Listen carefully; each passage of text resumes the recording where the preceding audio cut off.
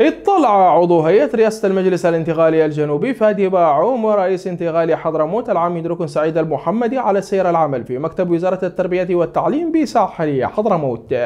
جاء ذلك خلال زيارة أجراها باعوم المحمدي إلى مقر مكتب وزارة التربية والتعليم بساحل حضرموت بمدينة المكلا وناقشا مع مدير عام مكتب الوزارة الأستاذ أمين بعباد. التجهيزات لاختبارات الشهادة الثانوية للقسمين العلمي والأدبي. واستمع باعوم المحمدي إلى شرح مفصل من المدير بعباد حول موضوع إضراب المعلمين وتسوية أوضاعهم. مشددين على عدم الإضرار بمستقبل الطلاب والطالبات بالمحافظة.